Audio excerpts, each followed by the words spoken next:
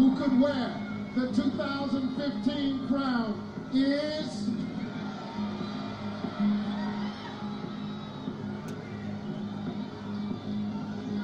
Colombia!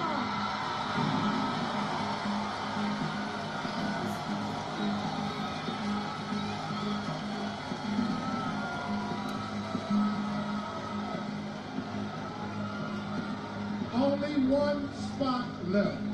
Just one. The last contestant in the final three is...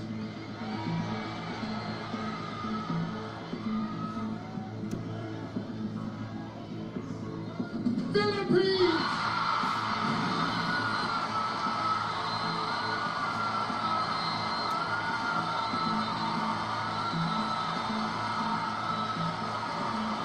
Congratulations to our final three. To just three. Ladies, one of you, one of you is going to be Miss Universe. But you still have to face one more challenge. The winner will take home the crown that currently belongs to Miss Universe 2014, Paulina Vega.